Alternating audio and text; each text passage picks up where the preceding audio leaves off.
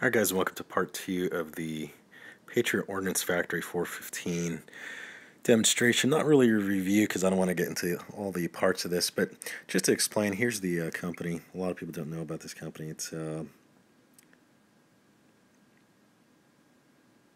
it's Patriot Ordnance Factory there in Phoenix, Arizona, and this is the P415. So just to talk a little bit about the rifle, uh, going from the front tip to the back.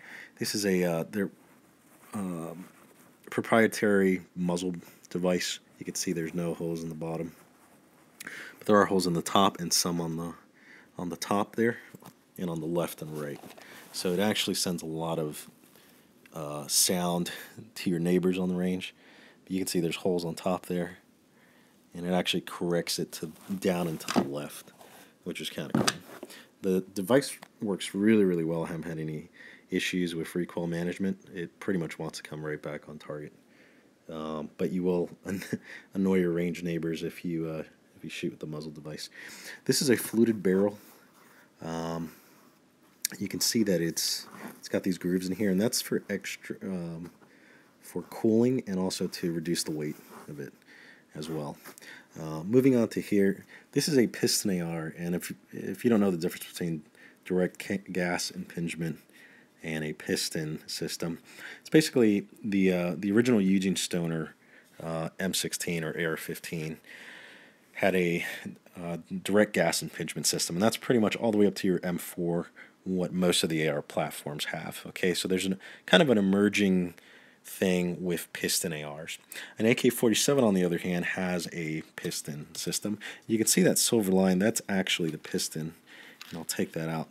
So what it enables you to do, typically a, um, a regular direct gas impingement AR, um, bullet's going to go out the front end, it's going to send gases back into this area, and then up into a gas tube, which goes all the way back, all the way into the uh, chamber area or the bolt carrier group, and that's what's going to, you know, send pressure back here to recoil your bolt carrier uh, group. Um, on the other hand, a piston system uses this little rod, okay? And instead of gas going all the way back into this bolt carrier group and your trigger group and everything else in here, this piston pushes your bolt carrier group, which goes back, gets another round, comes back forward, right? So the way that looks, it, it's what the AK uses, and pretty much every uh, modern assault rifle, besides the AR-15, for the most part, uses a uh, piston system. The absolute greatest benefit uh, of this, and it will add about a pound to a pound and a half to the weight of the overall weapon. This is about seven and a half pounds uh, by itself, and whereas a direct gas impingement AR might only be about six, six and a half pounds or so, so still very, very lightweight. Um, what the piston allows you to do is it doesn't send all those hot gases and carbon back into the uh, bolt carrier group and into your trigger trigger mechanism, mechanisms. So you have all this carbon buildup in here and all this heat that's being poured into here. And so with the heat it it um, slowly deteriorates your parts. I mean, how much is is questionable. I don't know if there's actually been scientific data on that, but there is no hot gas in a piston AR going back into here. That means that you're not you're not introducing immense amounts of heat. And the biggest plus is the carbon. You don't have carbon back here uh, all the carbon buildup. So I've shot about maybe 250 rounds or so. I did clean it after the range. I went once. Uh, so let's say, to be fair, about 150 rounds uh, through here. And the carbon buildup is hardly anything. I'll actually pull, pull the uh, bolt carrier group out here so you can see what that looks like. And pretty much there is almost no carbon buildup whatsoever. Now that's not a whole lot of rounds, but it's extremely impressive. So one of the things you can do is after right after shooting this thing, you can actually hold this in your hand. You would never do that with a direct gas impingement because all that, like I said, all that hot air is going through that tube, and it's going to make this super super hot, right? It's also in addition to that hot air, it's going to cover everything in carbon. This also has a proprietary roller pin. I actually, I don't think it's proprietary. They actually encourage other manufacturers to use this roller instead of uh, the square pin that's usually found. Uh, if you watch their videos, it's Patriot Ordnance Factory. You can really uh, just look up a video called The Why on YouTube, and you can really find out a lot about uh, the science behind this. This is I think it's called nickel uh, or N N3M. I want to say it's some sort of nickel coating. Uh, it can withstand thousands of hours of sea salt. Um, it has a Teflon. It's microscopic. The Teflon actually comes off. They compared it to chunky peanut butter, and as that Teflon comes off, along with some other metal, I can't remember what it is, it's actually self lubricating. So you never have to lubricate it and you never have to clean it. Uh, and when Patriot Ordnance Factory says cleaning is optional, it absolutely is. You don't have to clean it. Uh, there is some carbon buildup on the front, mainly because I'm using, you can see it there, mainly because, well, that's the chamber area, but mostly because I'm using Wolf, which doesn't expand. So Wolf has a, uh, has a steel casing. Uh, a brass casing will expand, fill the chamber, and then it gets ripped out, okay, by the ejector. Whereas Wolf does not expand in the chamber, and it actually allows carbon to get into the bolt carrier group here. Um, there's a common misconception that Wolf will, the polymer on Wolf will melt, and that it will cause, that's what causes the, the stickiness and, and jamming issues. It's actually not. It's the carbon buildup in the chamber area which causes uh, failures. So you got to be diligent about cleaning the chamber area. And POF recommends that you clean the chamber area in this so that you avoid difficulty. Now there's one warning. If you're going to use uh, POF um, and you're using wolf ammo, that's fine as long as you stay with wolf ammo. But if you switch from wolf and you go over to brass, all of that residue, all that carbon buildup in the chamber area, when that brass bullet expands, it's going to get stuck on all that carbon deposits. If you just stick with Wolf, since it doesn't expand, yeah, you're going to get carbon buildup, but it's not going to be an issue.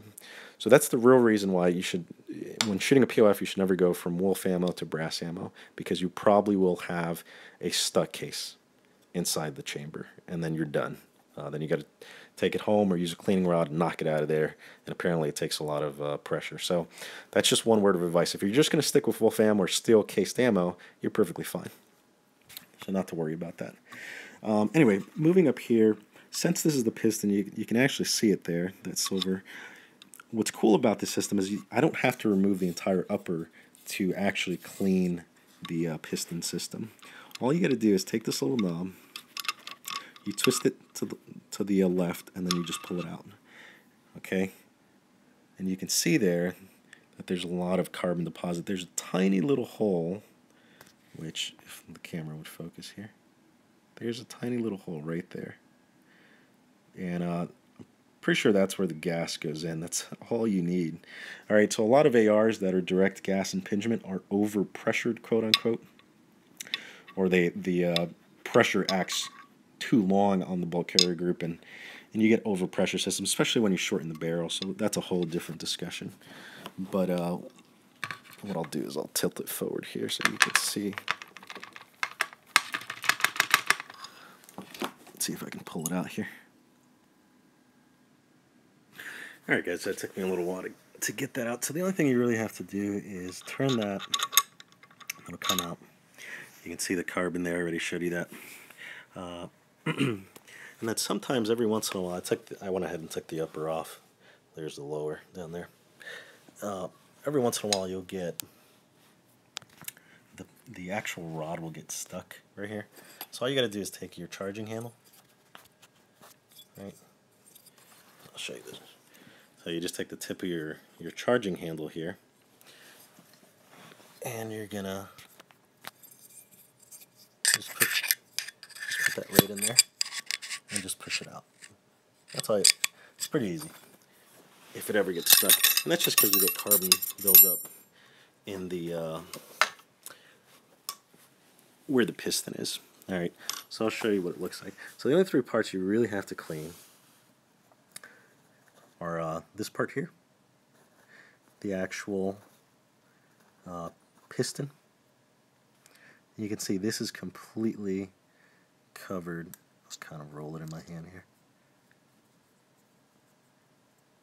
you can see it's completely covered in carbon deposit okay?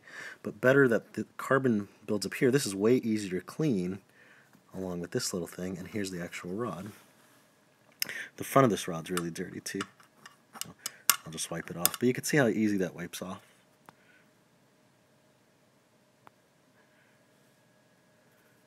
I just wiped the carbon right off. Um, and I think this is like a stainless steel or something like that. So it's way easier to clean these little tiny pieces every once in a while. And even that, you know, I don't know if, if you even need to clean them. I think the gun will still function because all, all that's happening is that gas is going, you know, through that little hole. It's coming out through there. The gas is hitting this thing, which is then hitting this thing. And then it's pushing the, uh, it's pushing your bolt carrier group backwards, right? So that little thing fits right in there. Right, and it's just pushing it back. The uh, spring back here. And you usually on uh, direct gas impingement, as far as I know, these get really, really dirty, and your trigger group gets really dirty, right? That spring's gonna push the bolt carrier group back, which pushes the uh, rod back, and you're, and you're back in business. So it's, it's as easy as that. So this entire assembly all it does is replace the, the gas tube that normally goes back there. Now normally you have gas that's going to push back here from the gas tube. Gas is going to come out through here and it's going to throw carbon and hot air and all sorts of deposits all over this thing. Right, not only that, but it's also going to get inside your lower. It's going to get in your trigger group, right? It's going to get probably in the magazine well there. It's going to get back here where this this um, buffer spring is, right? This is completely clean. Absolutely clean. There's no carbon that I can detect in the uh, trigger group whatsoever. There's no carbon inside the trigger group. Um, nothing at all. This is just absolutely clean, and that is amazing for an AR platform. So that's what the piston system does. Now, whether you go with Patriot Ordnance Factory or Adams Arms or uh, Sig, I think, has a, um, even though I think they got in some legal issue, you know, legal trouble uh, over their pistons design. But you know, there's a number of pistons coming out, and I think this is the ideal. So my my kind of philosophy was. So my whole philosophy was that I wanted the absolute best possible rifle that I could get for my money, and pretty much all the top counterterrorism teams you know, whether it's DevGru, Delta, whoever you're talking about, are running HK 416s, 417s, as far as I know. Right? So I, this is how this whole journey started. I wanted to know what was the best AR platform that I could get for my money that was going to last a long time. Um, and the HK 416 is a piston AR. Okay, now HK416s, you, you, know, if you can even get one, I think they range about $5,000 or something like that. Uh, I heard some rumor that the Marine Corps was switching their M4s to H, um, HK416 lowers. That may or may not be true. But uh, it is a you know very reliable company, awesome you know engineering and ingenuity, and they needed to make something for top tier uh, counterterrorism groups that was performed better than a normal uh, M4 platform. And the number one upgrade to this entire system is the piston system. Now, there's a civilian version of the HK. It's an MR556, I think. I think they also have like a 762 variant, but that that'll run you probably four thousand dollars or maybe five thousand. I, I don't know. Um, so Patriot Ordnance Factory has very high standards. If you look at the Why video, you'll know exactly what the process of every single component of this weapon and what it goes through. And it really is uh, remarkable. But it is a probably a Ferrari of ARs. Uh, I actually got a really good deal on it. It's probably uh, retail value is about twenty two hundred dollars. I got it at Bud, Bud's Gun Shop for about sixteen hundred. So it's an expensive rifle, um, but it certainly is the best that you can get. I wanted something that could last for you know a long time, and the um, when I when I researched piston guns, first I needed to know what was the difference between direct impingement and and piston, and, and why were AKs so reliable. Well, the piston system doesn't make the AK reliable, but it actually makes it so you don't have to clean it. All right, that's the most important thing. Uh, I think San Bernardino County Sh uh, Sheriff's Office they have a 308 version of this. They've run something like 62,000 rounds at the time of this video. Um, and they have done minimal maintenance. They haven't replaced any major parts like I don't think they've replaced the barrel or the lower or the upper. Um, maybe maybe parts of the bolt carrier group, maybe the piston system uh, that has gotten you know um, damage after time, but it, it just continues to run. And you know, I'm not even sure if they've had a had a failure. I know I, I didn't have a single failure for this weapon. Um, so the main benefit of a piston is not so much the mechanism itself. Um, it's the wear and tear on the bolt carrier group down here and the carbon buildup. The big thing is that you don't have to clean it, right? So that's why AKs can kind of run and run and run without being lubricated and clean because they're not dumping all that carbon and hot air into the, the most sensitive part of the weapon, it's the trigger group and the bolt, carrier group. Some people say that it was a flaw in Eugene's um, design, but I don't think that's true. I think he was very thoughtful. I mean, he made a rifle that that's been in existence for how many years now? 70 years or something like that. And all we can do is upgrade it because the design is so flawless and so awesome. Um, I shouldn't say flawless, but it, it's it really is near perfection. Um, so I think he knew what he was doing. The, the problem that we have with M4 platforms and direct gas impingement is really a shortening of the barrel. When the when the M16 came out, it was a 20 inch barrel, and the direct gas had the exact amount of gas that it needed to push this bolt carrier group back. Uh, now that you're shortening it, shortening the barrel down to you know 14, um, 10 inches, 9 inches in some cases, uh, now you have an overpressure system that's happening.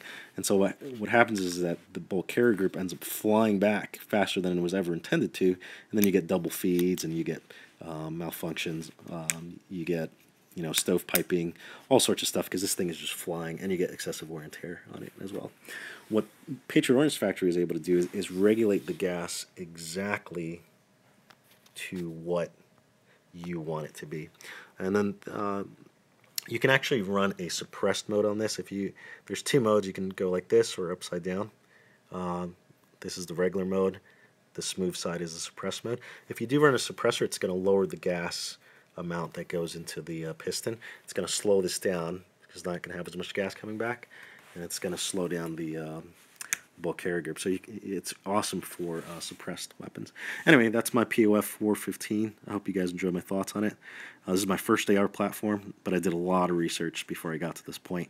And uh, this and LWRC is also a common company, are probably the two best piston ARs that you can get on the market. Adams uh, Adams Arms also makes one, um, but I think in probably 20, 30 years you're going to see probably more pistons than direct gas impingement. That's my theory. I don't know if it'll actually happen, but the number one benefit is you don't have to clean it, um, wear and tear on the mechanism.